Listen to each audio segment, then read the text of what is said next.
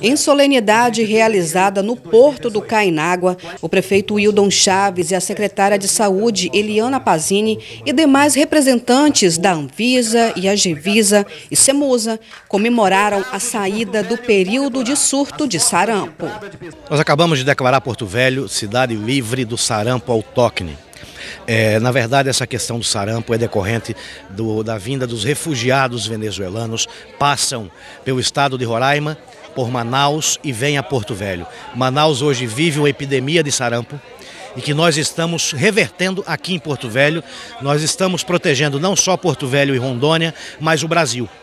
Porto Velho hoje conta com 100% de vacinação de, das nossas crianças. Então Porto Velho hoje está livre mas a responsabilidade de Porto Velho para com Rondônia e com o Brasil é enorme e nós estamos fazendo o nosso trabalho, inclusive fomos matéria nacional, na imprensa nacional, pelo absoluto sucesso.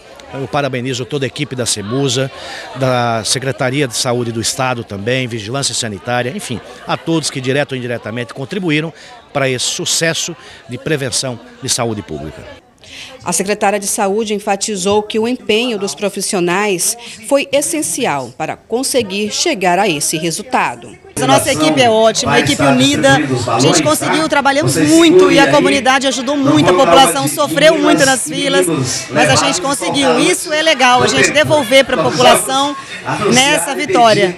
Vale ressaltar que para declarar o fim do surto do sarampo é necessário permanecer no mínimo 90 dias, sem registro de casos confirmados da doença. A chefe de imunização da CEMUSA conta que 100% das crianças de 1 e menores de 5 anos foram imunizadas.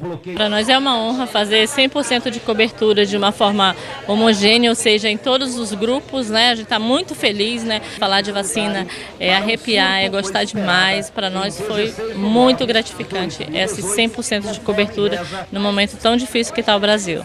A solenidade foi encerrada com um ato simbólico, onde os profissionais da saúde, junto com o prefeito da cidade, soltaram balões nas cores branco e vermelho, que simbolizam a campanha contra o sarampo.